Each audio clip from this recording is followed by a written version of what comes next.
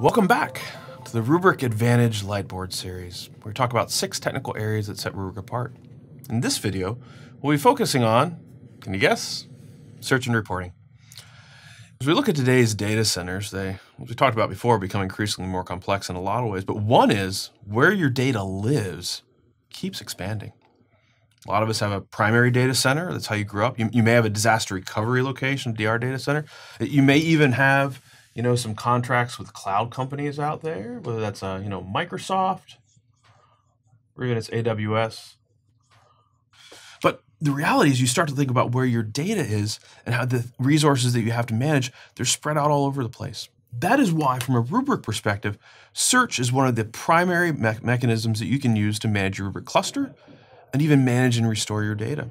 First thing you see when you log into a Rubrik cluster is literally at the top, the search box.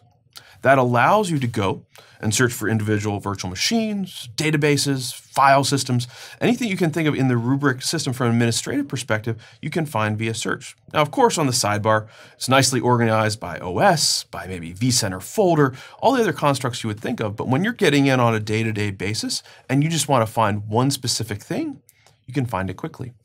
Let's extend that a little bit further, though, into even single file recovery or file recovery.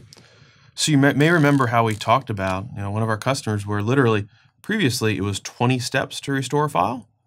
And with Rubrik, that went down to two. It's huge operational impact. So how's that possible? Uh, the, the other story actually I love there is a friend of mine who works at a law firm and they have a document management system that has millions of files that get stored in the file system. So with Rubrik, what you can do is literally you choose a specific server, and whether it's a file set, whether it's NAS, whether it's even a virtual machine, we look at the file names and we index those. And you can literally search on hosts or any file you want to. In my friend's case, actually the, uh, the file names were in hexadecimal and there were maybe millions, hundreds of thousands of them in a folder. So normally what you would do, you know, you'd pick a date, a point in time, you go and expand the folder, expand the folder, expand the folder. It, no, it's the wrong day. Let's rinse and repeat that. Let's try it again and again and again. So that's where, for them, literally a simple file restore from the lawyer's perspective, who you uh, sometimes are um, have high expectations as far as turnaround time, right? Actually, would take them hours. With Rubrik, that went down to minutes. So this is where something like search that sounds fun and maybe just kind of operationally cool can have significant impact back up to the business and even the reputation of IT to the business, truly business impacting. Next, reporting. And, and, I always smile a little bit inside when I, when this topic comes up because, again, previous history of working with these products, and someone asks, "Do you do custom reporting or do you have dashboards?" And the answer is always yes, but the answer might be via an add-on product that takes time to set up and takes a lot professional services engagement. So, from a Rubrik perspective, every single Rubrik cluster has Envision on it.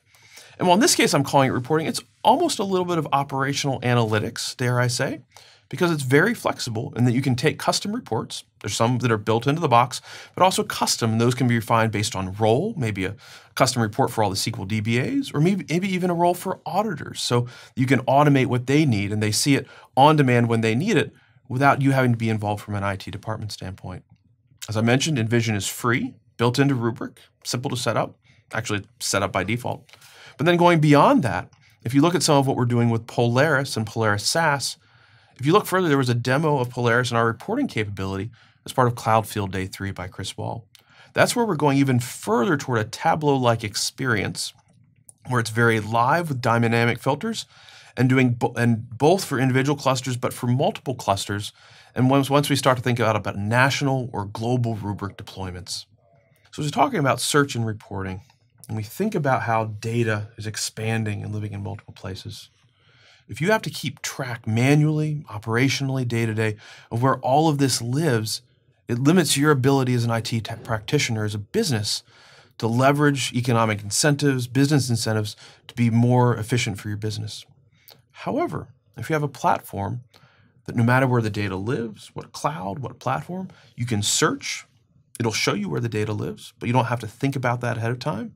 And even reporting that goes across all of these different environments this is what truly takes it for our customers, as Compere Financial said.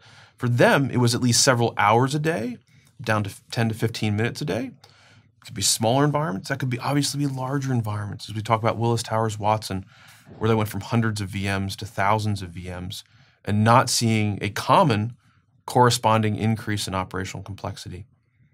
So, in some ways, while search and reporting may not be the most fun features, they resonate for me personally, both from a background perspective and the impact that I've seen them have for our customers, enabling them to do better work that impacts the business.